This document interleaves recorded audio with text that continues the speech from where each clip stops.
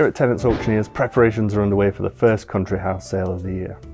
We have wonderful consignments from all over the country, including the Terry Estate in York and also Dutton Manor over in Lancashire.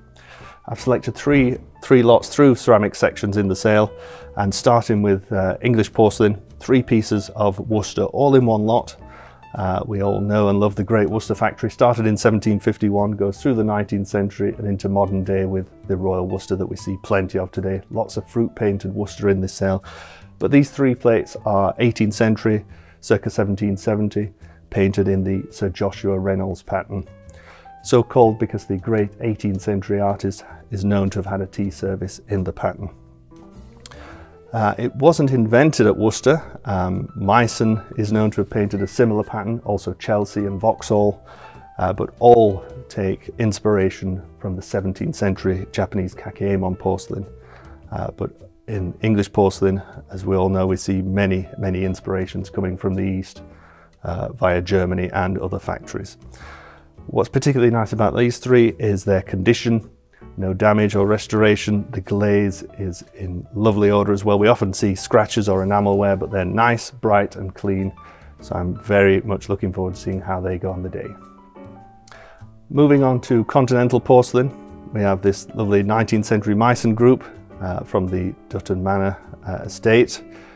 They obviously had a great fondness for the Meissen factories. There's around a dozen uh, Meissen groups uh, or single figures in the sale.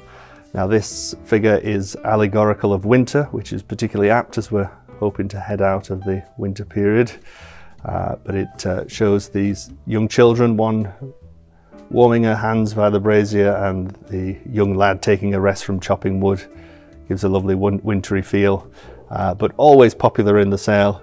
And this one in fairly nice condition as well. One or two little losses, which we know to expect.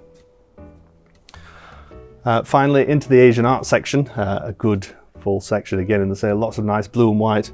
We have these two ginger jars, not quite a pair, but very, very similar.